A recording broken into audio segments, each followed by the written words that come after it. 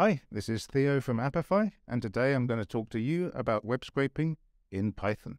If you are pretty familiar with Python, but you're new to web scraping, you might be wondering whether it's the right language for the job. So in this quick video, we're going to take you through the main advantages of using Python to extract data from the web. There are three main advantages to using Python for web scraping. A vast Python community, post-processing tools and visualization, and data pipelines in one language. The first obvious pro to Python is the sheer size of its community. Python dwarfs all other languages when it comes to popularity for web scraping projects.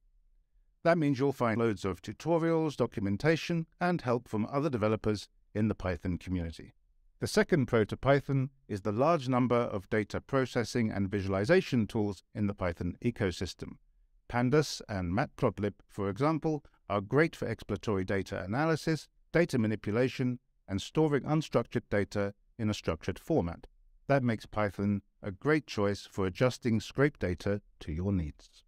Finally, Python is hugely popular among data scientists, and one reason for that is that Python packages make it super easy to create data pipelines.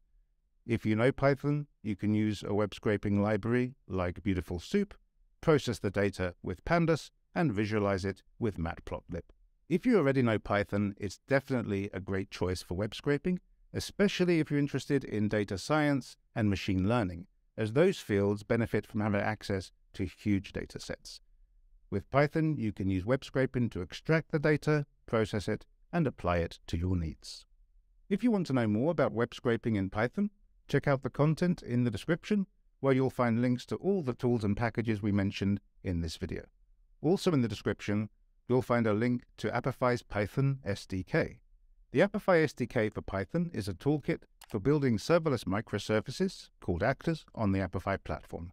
It lets you easily build Apify actors in Python from scratch or from your existing code. That's all for this video, but before you go, don't forget to give us a thumbs up and click that bell for future content on web scraping. Also, if you're a web scraping developer, let us know what you think of Python as a language for web scraping. So long, and thanks for all the likes.